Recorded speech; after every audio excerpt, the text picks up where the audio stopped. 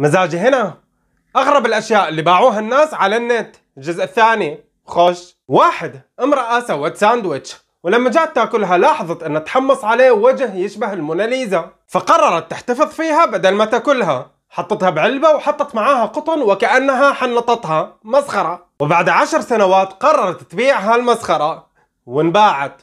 اشتراها كازينو ب 28 ألف دولار. ليش؟ لا تسألني. عالمنا غريب. اثنين شاب خطرت في باله فكرة غريبة بعد ما مات خنزيره الغيني اللي يربيه. حنطه ولبسه درع محارب وباعه ب 1150 دولار. ومن وقتها للآن قاعد يبيع خنازير غينية محنطة لابسة دروع على النت وأرباحه جنونية. وأخيرا نيزك سقط على الأرض وفي قطعة من النيزك طارت لبيت شخص ما. فأخذ قطعة النيزك وعرضها في مزاد على النت فوصل سعرها ل 450 ألف دولار. وات رزقه جال عنده من السماء على هيئة حجر. سبحان الله.